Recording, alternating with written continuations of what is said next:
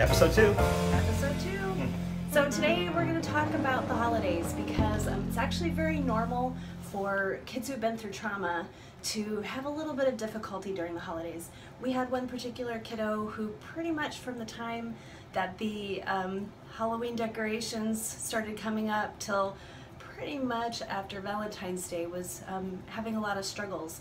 And so first of all, I want you guys to know out there that this is normal. I used to tell the kids all the time that what you're reacting to, it's not that you're abnormal, it's that you're reacting normally to an abnormal situation that you went through.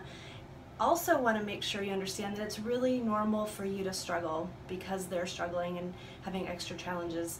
And I know for me there were times that I felt a lot of resentment and you know just kind of feeling like, man, why do they have to ruin all the holidays?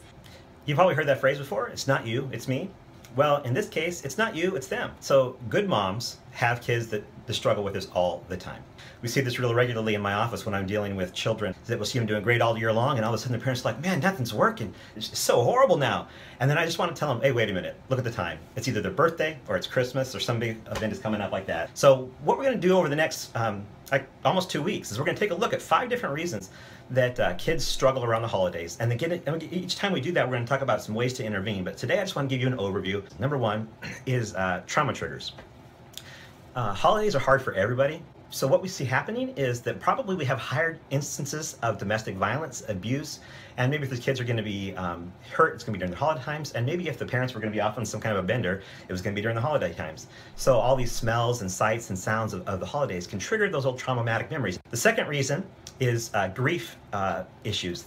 They're, for those kids that can remember, they're remembering their moms and dads during this time and the special times, if they had any during this time, or how horrible the holidays were. And also, for some of these kids, it could be a matter of you're doing all this great stuff for them and they're remembering what wasn't done for them before. Yeah, exactly. The number three reason is sensory issues. These kids, uh, because of early developmental um, insults, their brains haven't developed just like the rest of ours, and so their their lower brain, the areas in charge of the sensory things, get overloaded, and so all the lights and sounds and changes affect them. Fourth issue, self-regulation issues. Kids who already have a hard time with self-regulation do not do well with change, and guess what? Holidays are all about change.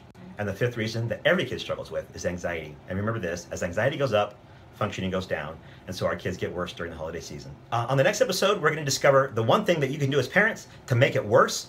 And until then, you can check out more of our resources at foreverhomes.org. And as always, make sure to flush and wash your hands. See you next time.